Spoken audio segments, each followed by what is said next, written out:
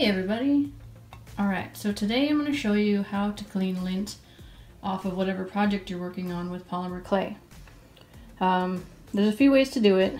You can take an X-Acto knife and you know find the little piece of lint you want to remove and you can scrape at it until it's gone.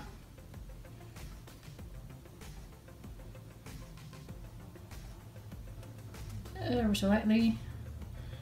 And then you just have to smooth it back over to get rid of those little spots. Another way is you can use your fingernails and just kind of pick at it until that spot's gone and then smooth it over again.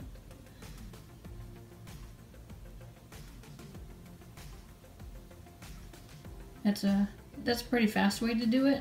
But then again, you have to be very careful when you're picking so you don't make too big of a little dip in it. Okay, um, my favorite way though, and I usually do this, well if it's very linty I'll do it like in the middle of the project before I change colors or something. But I use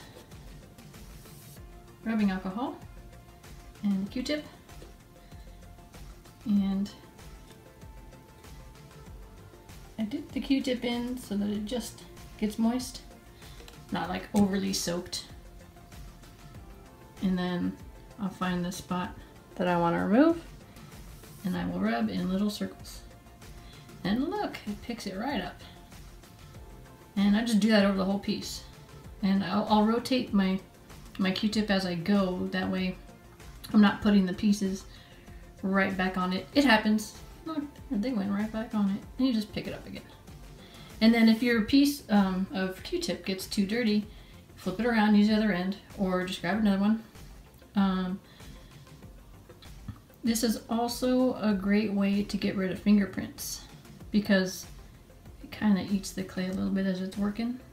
So it helps smooth it out. Let's see if I can get a nice fingerprint on there.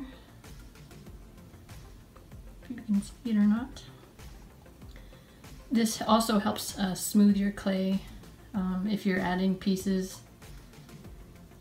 And you can use a paper towel if you want and, and rub it on there to help smooth out your clay.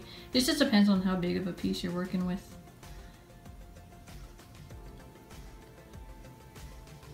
Let's see, you just, you just go in little circles. And if it, like I said, this is getting pretty full of white. Probably have to change it out soon. Um, I was gonna make a white dragon, so I I'll be doing this a lot while I'm working with it. So I figured I would give you guys a quick tutorial because I'm probably gonna edit out all the times I do this on my dragon. Yeah. So that's it. You just find the pieces and make little circles. And that is how you get rid of lint on your work. I hope this tip helped. Let me know if you guys want tips for anything else. Um, happy to make them.